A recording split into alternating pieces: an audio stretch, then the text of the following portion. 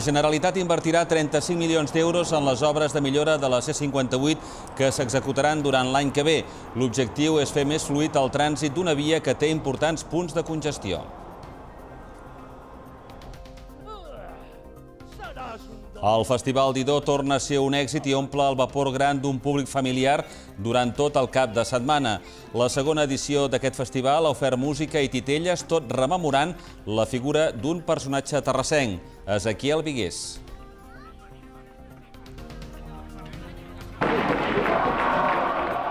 El Terrassa Futbol Club empata a Palamós tot i jugar amb 10 homes durant més d'una hora. L'equip agarenc ocupa la setzena posició i manté els 5 punts de diferència sobre la zona de descens. Diumenge rep el Júpiter a l'Olímpic.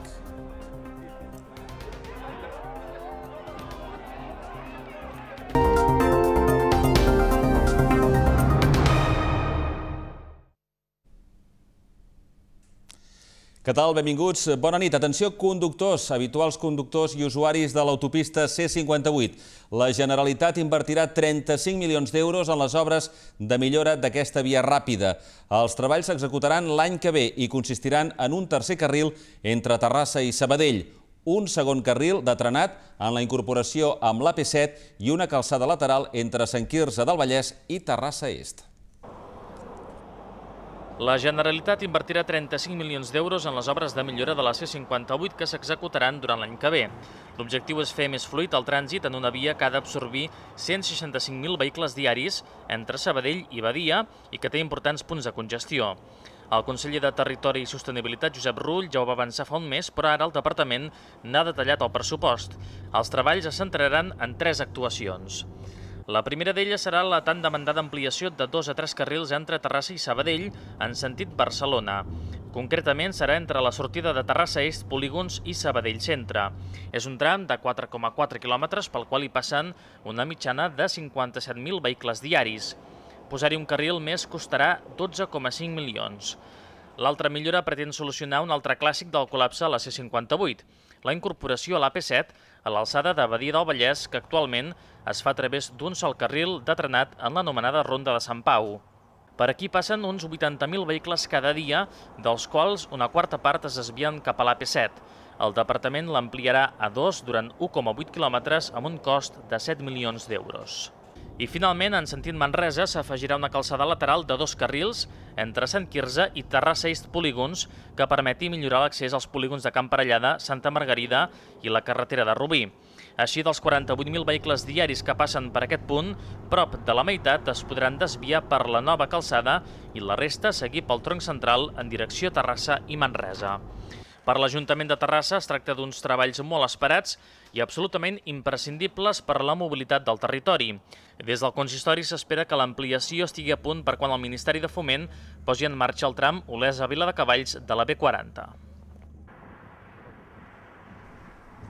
Doncs bé, continuem parlant de temes relacionats amb la mobilitat i és que una terrassenca ha impulsat una petició al portal d'internet eh, change.org perquè Terrassa sigui zona tarifària 2. Estem parlant de Clàudia Ramos, que ja ha obtingut més de 6.200 signatures de suport.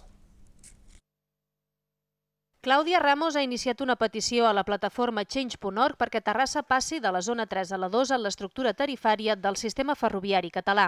La va crear fa quatre dies i ja ha superat les 6.200 signatures de suport. En la seva exposició, Ramos critica que hi ha municipis que presenten més distància en Barcelona que Terrassa i, en canvi, es troben a la segona corona. La impulsora de la petició destaca que els agarencs, malgrat viure al costat de poblacions com Rubí, Sabadell, Cerdanyola o Sant Cugat, a l'hora de desplaçar-se a Barcelona han de pagar una zona més. A més, recorda que fa cinc anys, en resposta a les queixes rebudes des de Terrassa, la Generalitat va assegurar que estudiaria el sistema de corones quan es constituís la nova àrea metropolitana, però encara no ha fet res. Ramos també lamenta que s'hagin destinat milers d'euros a construir les noves estacions a la ciutat, però no a canviar aquest greuge.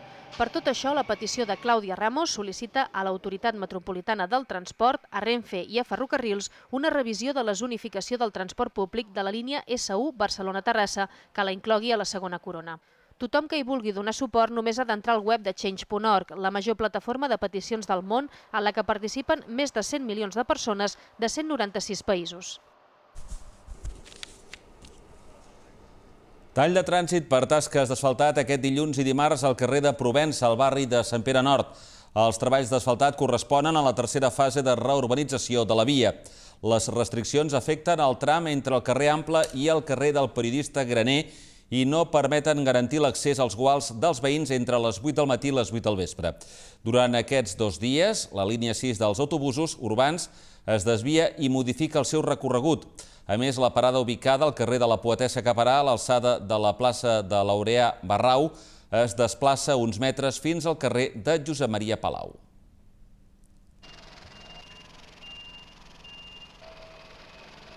Una delegació de l'Ajuntament d'Alcoi està de visita a Terrassa per conèixer les experiències locals de rehabilitació industrial i emprenedoria. Per aquest motiu s'han trobat aquest dilluns al matí amb el tinent d'alcalde de Cultura, Innovació i Projecció de la ciutat, Amadeu Aguado. La delegació de l'equip de govern de l'Ajuntament d'Alcoi ha estat encapçalada per l'alcalde de la localitat, el socialista Antonio Francés, que ha viatjat acompanyat d'altres membres del seu equip.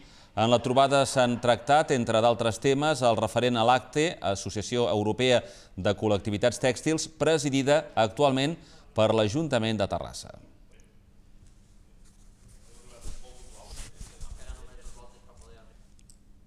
En Comú Podem ha explicat a Terrassa l'experiència al Congrés dels Diputats. La Sala Factoria d'Arts ha acollit un acte presidit pel líder de la formació Catalunya, Xavier Domènech, acompanyat dels altres dos diputats, eh, Lucía Martín i Marcelo Expósito.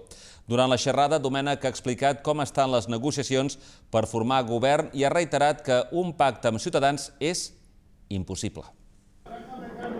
El líder d'en Comú Podem i diputat del Congrés espanyol, Xavier Domènech, ha visitat aquest divendres la sala Factoria per presidir l'acte organitzat per Terrassa en Comú, anomenat Rendim Comptes del Congrés a Terrassa. Un acte que forma part de la gira en què la formació de Domènech s'ha proposat explicar la seva experiència al Congrés dels Diputats a la ciutadania.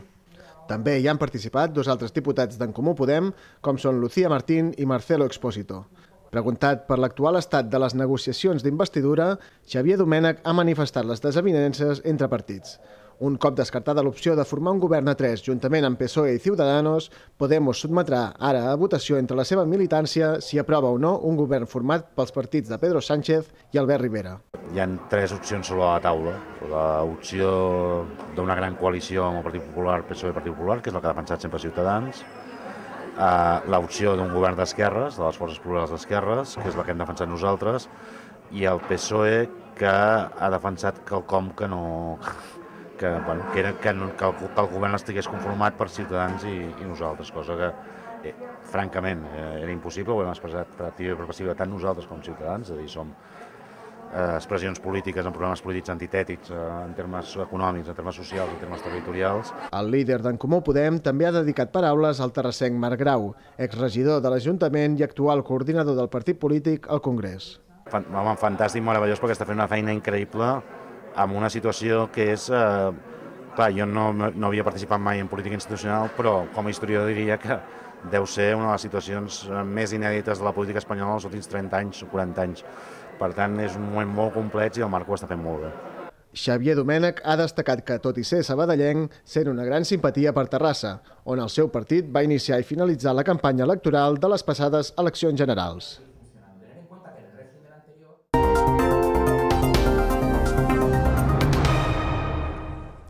L'empresa de joc i apostes Tirsa ha presentat els resultats econòmics del 2015. La companyia amb seu a la carretera de Castellà va obtenir un benefici operatiu de 380 milions d'euros, el que suposa un increment del 15% més respecte al 2014. Els ingressos també van augmentar, ho van fer en un 16%, arribant als 1.853 euros. Durant l'any passat, Cirsa va continuar augmentant la seva presència a l'Amèrica Llatina, entrant per primera vegada a Costa Rica i ampliant sales a Colòmbia, Panamà i l'Argentina. D'altra banda, la divisió d'apostes esportives de Cirsa, Sportium, ja ha superat els 1.500 punts de venda.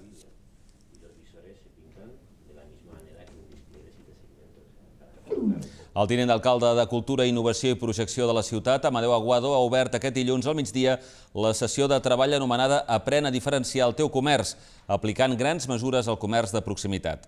La iniciativa organitzada per l'Ajuntament i l'ESCODI, l'Escola Superior de Comerç i Distribució, s'adreça a tot tipus de persones vinculades amb el món del comerç, des de propietaris i gerents fins a directius, tècnics de comerç o membres d'associacions de comerciants.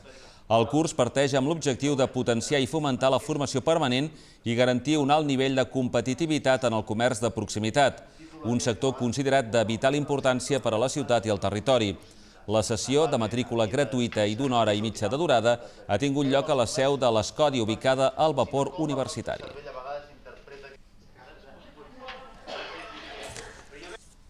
També us expliquem que centenars de persones han celebrat aquest diumenge el Dia Mundial de la Salut a Vallparadís. La festa s'ha fet coincidir amb la segona Fira d'Entitats de Salut de Terrassa, principals impulsors d'aquesta iniciativa i que hi han estat presents en 25 estants. Tenir una vida saludable implica menjar sa i fer esport, entre d'altres. Per promoure aquests hàbits entre la ciutadania, coincidint que el 7 d'abril es va celebrar el Dia Mundial de la Salut, el Parc de Vallparadís ha acollit aquest diumenge una jornada d'allò més saludable. La festa ha començat amb una xocolatada i una cursa solidària per infants i adults. De forma paral·lela, Bici Terrassa ha organitzat una sortida des de la plaça de la bicicleta fins a Vallparadís.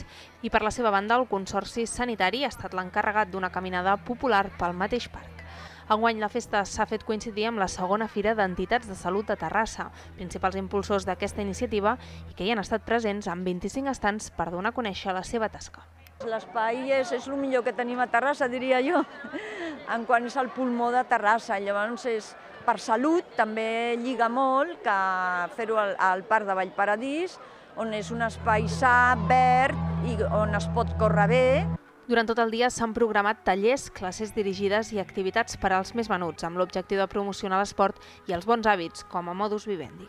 Exercici físic, sortir, aprofitar, doncs, per exemple, descobrir que existeix Vallparadís, vale? per la nostra gent gran, pels més menuts, també es recordem una miqueta doncs, la prevenció, ara que avui fa sol, si s'han posat la crema, que begui molta aigua, que es posin una gorra... D'altra banda, s'ha organitzat una botifarrada popular on els diners recollits, juntament amb els de la cursa, serviran per ajudar a finançar la feina de les entitats participants al llarg de l'any.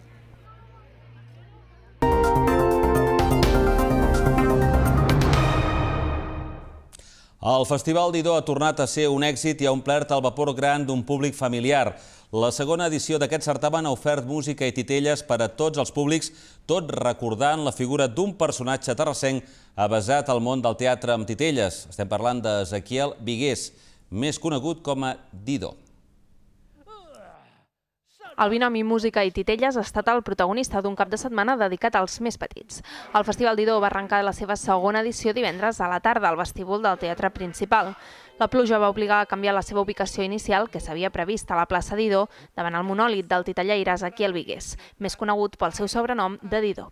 Personatge de Didó va ser un senyor que d'alguna manera va córrer món, és dir, va voltar, va estar a Barcelona va, i després va anar a París. I a París va muntar un cabaret, va muntar diferents espectacles i es va convertir en un home de, de teatre, no?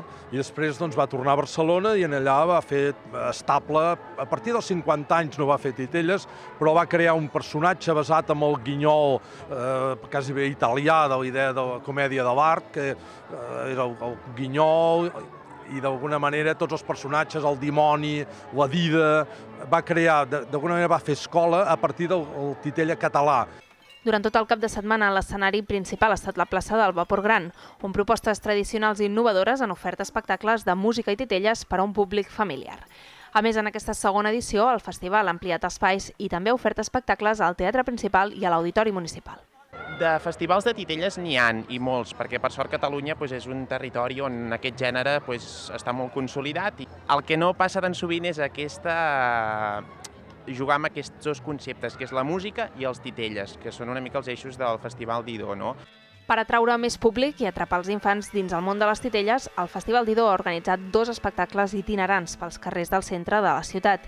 Dissabte al matí, l'Harmònium Rondallaire ha transportat contes musicats amb la seva bicicleta i diumenge al matí ha estat el torn de Circum Loki, el circ de titelles més petit del món. A banda dels 11 espectacles programats, durant tot el cap de setmana els més menuts han pogut gaudir també de diferents tallers de construcció de titelles i maquillatge. Tot plegat una barreja d'innocència, humor i música en directe que han fet que un any més el Festival d'Idó sigui un gran èxit. I dissabte al Parc de Sant Jordi es va tornar a omplir un any més de cultura popular. La Culturassa reunia 33 entitats que formen part de la coordinadora de grups de cultura popular i tradicional catalana de Terrassa. Aquest any, com a novetat, s'ha pogut veure l'exposició itinerant Gegants de paper.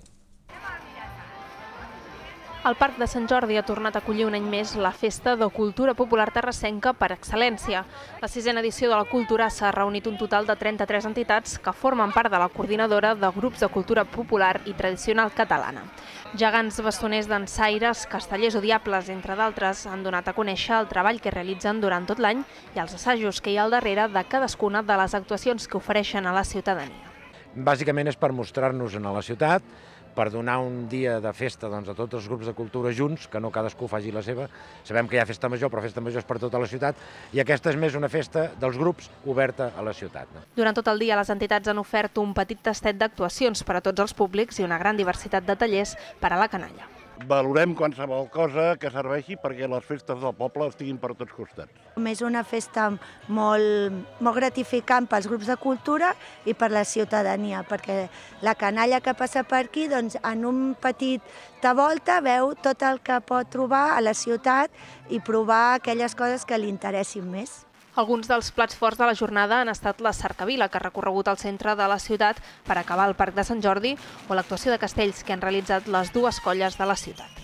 Com a novetat d'enguany, la Masia Freixa ha acollit l'exposició itinerant Gegants de paper, creada pels geganters de Rubí i dut a Terrassa per la coordinadora de grups de cultura popular. L'exposició ret un petit homenatge a tots els dibuixants de principis del segle XX que van aprofitar la il·lustració dels gegants per criticar i ironitzar sobre la vida social i els polítics del moment. I ara us parlem de cervesa, perquè la primera mostra de cervesa artesana de Terrassa també ha estat tot un èxit participatiu. Espai Gastronòmic Terrassenc i els productors de cervesa La Resclosa han organitzat aquest dissabte eh, aquest, aquest certamen amb l'objectiu de donar a conèixer aquesta producció més local. Han estat 11 hores de cervesa i bona música que podrien repetir-se l'any vinent. Els productes de proximitat estan experimentant un creixement exponencial i en aquest sentit la cervesa no s'ha quedat enrere. Per donar a conèixer aquesta producció més local i artesanal, Espai Gastronòmic Terrassenc i els productors de la cervesa La Resclosa han organitzat aquest dissabte a la plaça del Progrés la primera mostra de cervesa artesana de Terrassa. Des de les 12 del migdia i fins a les 11 de la nit s'ha ofert un tas de diferents varietats de cervesa artesana produïda per artesans locals, tot plegat acompanyat de menjar i música per diversos DJs durant tot el dia dia. Per animar encara més l'ambient, al matí s'ha fet una escoterada a càrrec de l'entitat local Solvespa, així com una paella i un concert musical en directe. La manera com s'elabora és diferent. Eh, la cervesa artesana doncs, eh, es fa amb, amb la matèria prima de la malta, l'aigua, el, el llúpol i el llevat, és un procés artesanal, embotellem nosaltres, eh, xapem nosaltres, el disseny de les etiquetes, la gran majoria ens l'hem fet nosaltres, no? I, i, i bueno, una mica a petita escala. La mostra de cervesa artesana ha servit també per tastar les diferents marques més tradicionals que ofereix el mercat i comparar-les així amb les que es produeixen a la ciutat. Molt guai que hi hagi la iniciativa de fer una fira de cervesa artesana aquí a Terrassa, perquè crec que segurament, bueno, ja es veu que hi ha molta gent que li agrada. I aquestes? La veritat és que sí que està molt bé. Bueno, jo és la primera que vinc aquí a Terrassa, no sé si havia fet altres anys, i està molt bé, i la veritat és que la cervesa, la que hem provat, està molt bona. En definitiva, 11 hores de degustació, música i bon ambient, que han servit perquè els organitzadors en facin una valoració més que positiva i que es plantegin la continuïtat d'aquesta mostra com un acte més de ciutat.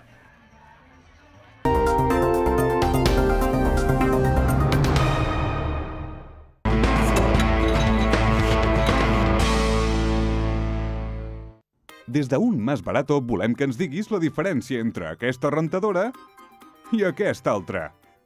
Ah, exacte! L'única diferència és el seu preu. Estalvia comprant electrodomèstics de qualitat directament de fàbrica. Vine a conèixer la nostra botiga al carrer Almeria 157. A un Mas Barato. Si pagues més pel mateix, és perquè vols. A un Mas Barato patrocina els esports.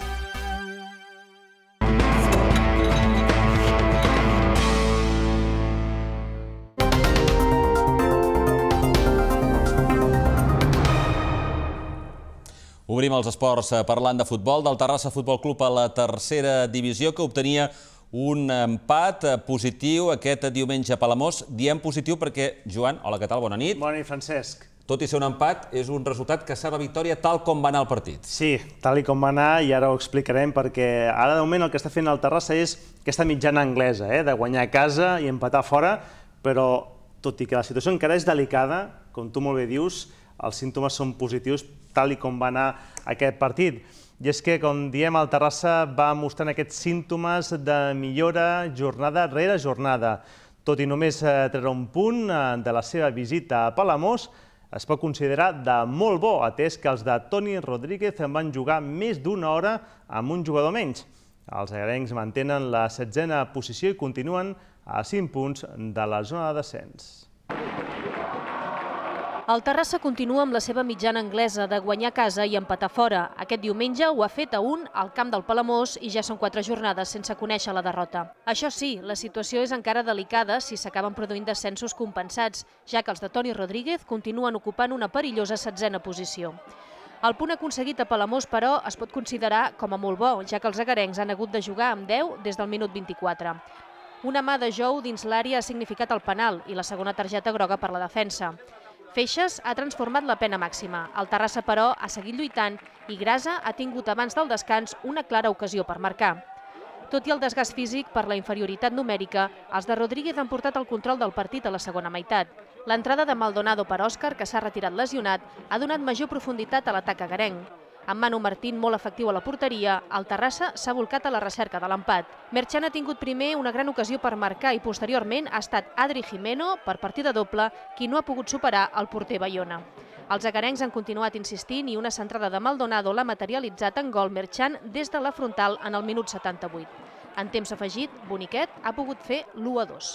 Si mirem aquests punts de com ha anat la jornada i com ha anat, a, sobretot el partit, que ens posem en 10, doncs sí que és molt valuós, però jo també crec que amb 10 hem sigut fins i tot superiors a, al Palamós i hem tingut, potser ells han tingut alguna, però nosaltres les més clares a la segona part i el domini del joc ha sigut pràcticament, pràcticament nostre. O sigui, el 92, si marxem aquí amb un 1 a 2, no passa res. Llavors, que podem dir que, que l'empat és bo, està clar que és bo. O sigui, et quedes de, amb 10 al minut 25, en gol de penal i, i jugant fora de casa. Bueno, sí, vale, l'empat és bo, però penso que, que amb una mica més d'encert ens en portaven 3 punts d'aquí avui. La zona de descens continua a 5 punts. El Terrassa rep diumenge el Júpiter. I a la divisió d'honor masculina d'hoquei herba, victòria per 2 a 1 del Club Agara davant el fins ara líder, el Polo, en el partit més atractiu d'aquesta jornada. Els ratllats van remuntar el gol inicial dels barcelonins per emportar-se un triomf que els deixa sols al capdavant de la classificació. Per la seva banda, l'Atlètic va tornar a mostrar el seu joc irregular i va perdre 2 a 0 al camp del júnior. El Club Egara s'ha venjat de les dues últimes ensopegades amb el Polo a la Copa del Rei i a l'Eurohockey League. Els ratllats han guanyat 2 a 1, un triomf que els permet sumar la seva tretzena victòria consecutiva i liderar en solitari la classificació. Com no podia ser d'una altra manera, els dos equips han exhibit un joc elèctric i amb un alt ritme de partit. Quico Cortés ha refusat en primera instància un penal córner de Xavi Leonard, però el davanter agarenc del Polo l'ha superat en el darrer minut del primer quart en aprofitar un refús. El conjunt de Patricio Quina només ha tardat dos minuts en empatar en una excel·lent jugada d'Eduard Bosch dins l'àrea visitant. Els dos equips han pogut marcar més gols abans del descans. Pepe Borrell ha xutat fora, mentre que Vicent Ruiz i Edi Tubau no han estat encertats en el penal. A la represa, les ocasions s'han anat succeint. Pepe Romeu, de penal, no ha pogut superar Mario Fernández, tot i que la més clara l'ha tingut Salva Piera, que incomprensiblement ha rematat fora. De l'1 a 2 s'ha passat al 2 a 1, quan Romeu, aquest cop sí, ha batut el porter del Polo. En els darrers 10 minuts, l'Egara ha defensat bé i una doble aturada de Cortés ha permès que els 3 punts es quedessin a casa.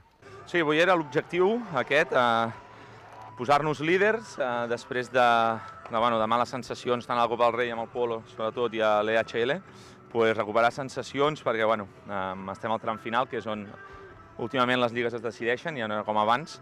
I bueno, important aquí a casa, eh, la victòria. L'Atlètic, en canvi, ha perdut 2 a 0 al camp del júnior i es complica tenir el factor camp a favor als play-off. Un cop més, els de Roger Pallarols no han estat encertats de cara a porteria, tot i disposar de moltes ocasions. Amb empat a 0 al descans, el triomf Sant Cugatenc s'ha decidit en el tercer quart, amb dos gols d'Àlex Gil, el segon en un bon llançament de penal. Ara estem en una fase de temporada on, on tots els partits en el nostre calendari són top, o sigui que ja saps que, que pots perdre. En el cas d'avui doncs, penso que a nivell de joc nosaltres hem, hem generat moltíssimes ocasions, molts penals, i no hem estat en, encertats de cara a la porteria. En canvi, ells doncs, de, de quasi d'una ocasió i mitja ens han fet dos gols, però vaja, eh, felicitar-los perquè evidentment guanyar aquests partits top té molt mèrit. La Lliga s'atura pels compromisos de seleccions. El dia 24 d'abril hi haurà derbi al Pla del Bonaire entre Egara i Atlètic. I en categoria femenina, el Club Deportiu Terrassa no va tenir opcions davant un júnior molt superior, tot i que només va acabar guanyant per 0-1 a les Pedritxes. El Club Egara, en canvi, va arrencar un punt de la seva visita al Polo.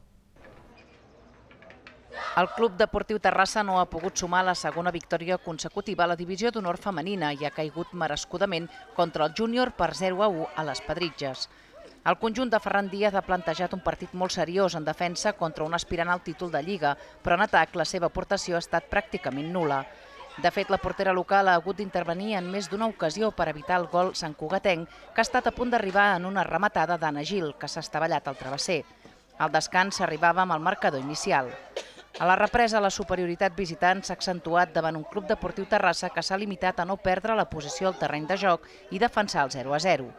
Quan semblava que les agarenques podrien sumar un punt, Gil ha aprofitat un refús dins l'àrea per fer el gol de la victòria a 7 minuts per al final.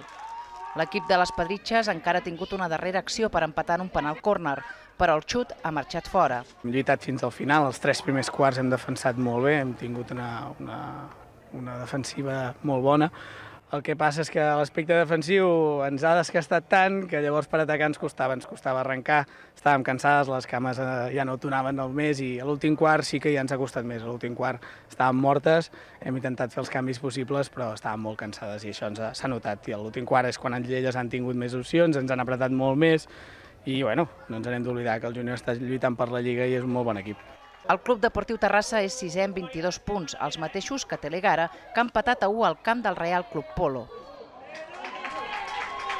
Divendres informàvem de l'eliminació de l'esfèric als quarts de final de la Copa de la Reina d'Hoquí Patins a mans de Gijón, que finalment s'han portat el títol en superar en la final al Palau de Plegamans. Una altra Copa de la Reina, la de Waterpolo, ha anat a parar a mans del Centre de Natació Mataró, que contra tot pronòstic ha derrotat 9 a 7 al gran favorit, el Club Natació Sabadell, guanyador de les 8 últimes edicions.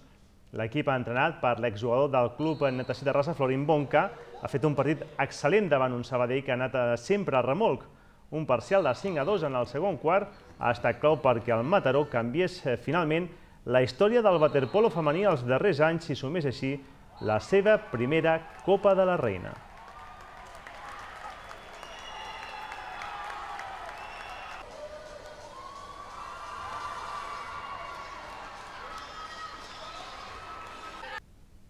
Veritat que fins ara han guanyat elles, però com, he, com nosaltres teníem aquesta confiança que avui podíem guanyar i tenim, teníem eh, equip per guanyar un Sabadell. Ja sabem que Sabadell és un equip molt fort, sabem que Sabadell eh, a la seva casa, eh, i més en centenari, i felicitat per això, eh, estan molt fortes, però nosaltres avui hem tenit un partit esplèndid.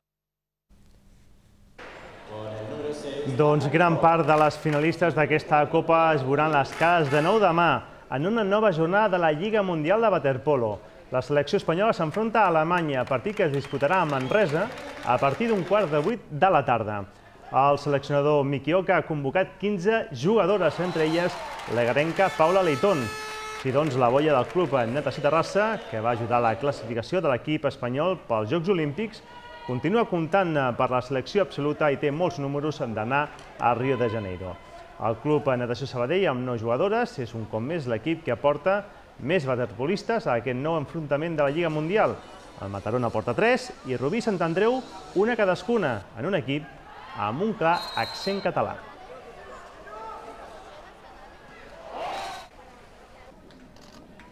I aquestes són les cares de satisfacció de l'equip masculí de waterpolo de la selecció espanyola a la seva arribada aquest matí a l'aeroport del Prat i amb la classificació a la butxaca pels Jocs Olímpics de Rio de Janeiro. L'equip espanyol ha finalitzat tercer al preolímpic de Trieste, emportant-se, doncs, la medalla de bronze en derrotar França. Recordem que en el combinat de Gavi Hernández hi ha els jugadors del club Natació Terrassa, Iñaki Aguilar i Ricard Alarcón. El seleccionador espanyol ha parlat de la duresa d'aquest preolímpic. Vam començar molt malament, el primer dia vam perdre i això va canviar tot. O sigui, eh, després, tot i guanyant tots els partits, teníem el risc de, de, de creuar amb, amb Hongria, que era l'equip més, més fort de l'altre grup, i bé, al final doncs, eh, vam poder jugar contra Canadà, que era un rival que havia guanyat a tots els equips europeus, que havia empatat contra Hongria, però que, que no tenia el nom d'Hongria i que vam fer un partit important, molt, molt intens, molt concentrats i vam aconseguir la classificació que va ser molt dura perquè vam estar set dies patint, eh, 24 hores, per, ens intentaven, els rivals de l'altre grup intentàvem especular amb els resultats per no creuar amb nosaltres i ha sigut molt. I per aquesta cita olímpica, Francesc, ja estan definides les, els grups del torneig olímpic de waterpolo. La selecció espanyola femenina, recordeu que són les actuals subcampiones olímpiques, s'enfrontaran, estan enquadrats en el grup B, s'enfrontaran amb la Xina, Hongria i els Estats Units i la selecció espanyola masculina tindrà com a rivals Estats Units, França, Montenegro, Itàlia i Croàcia. Avui s'ha donat a conèixer aquest, aquests grups. Abans que te'n vagis, Joan, una cosa. Divendres pronosticàvem la victòria clara eh, de, del Sabadell davant sí. del Mataró a la final de si la Copa de la Reina. Si, si arribaven, si arribaven. Eh? Eh, escolta, no, no la vam encertar. No la vam encertar.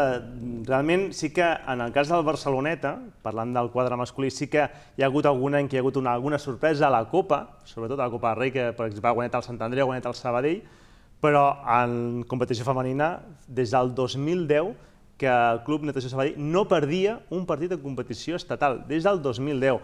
A la qual cosa, sí. el pronòstic era difícil encertar aquesta, aquest canvi que hi ha hagut. Feia sis anys eh, que el Sabadell no perdia en competició sí, nacional. Tot i que, que creiem, o jo crec personalment, que és bo eh, que hi hagi una miqueta mm. aquests canvis de tendències i de dinàmiques. Eh, una mica. Joan, gràcies per estar amb nosaltres. Fins una altra bona Vinga, nit. Vinga, bona nit.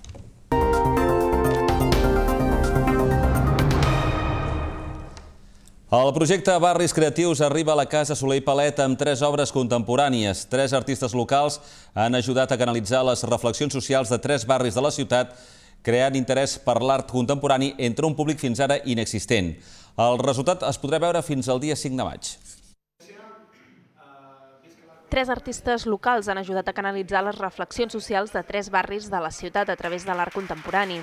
Ho han fet en el marc del projecte Barris Creatius de la Regidoria de Cultura i treballant colze a colze amb les entitats de cadascuna de les zones triades en aquesta sisena edició.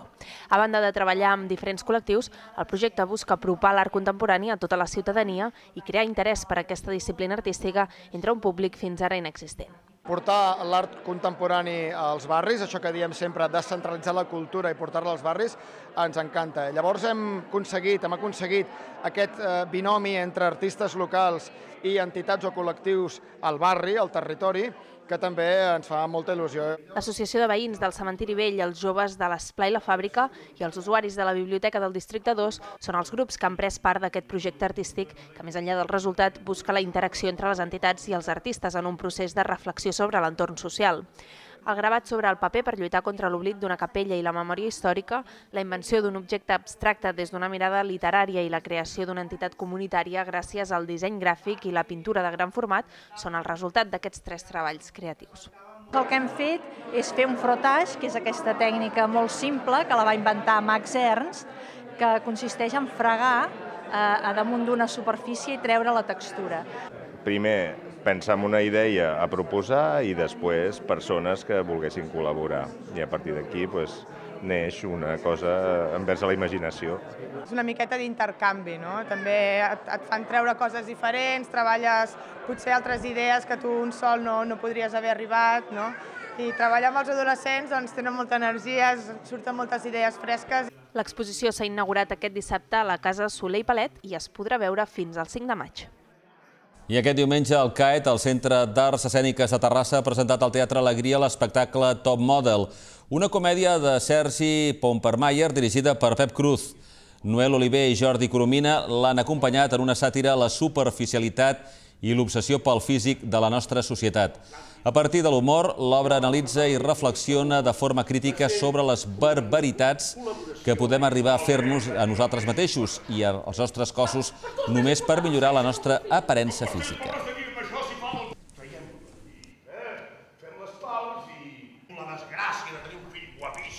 Amb aquestes imatges del Top Model tanquem l'informatiu. Gràcies a per estar amb nosaltres durant tota aquesta estona. Recordin, poden seguir l'actualitat, estar ben informats, com sempre, a través de Canal Terrassa per la ràdio municipal i per internet, a les xarxes socials i al portal terrassadigital.cat. Que vagi bé, bona nit